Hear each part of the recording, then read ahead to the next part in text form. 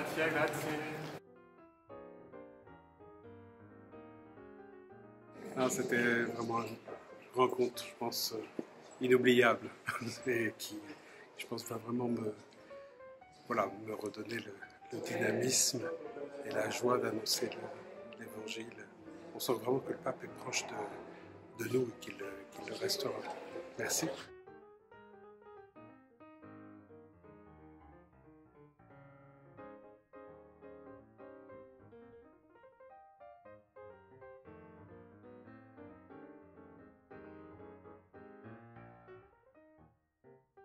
Très simple, très cordial, très fraternel, c'est-à-dire de quoi plus. C'est très émouvante aussi.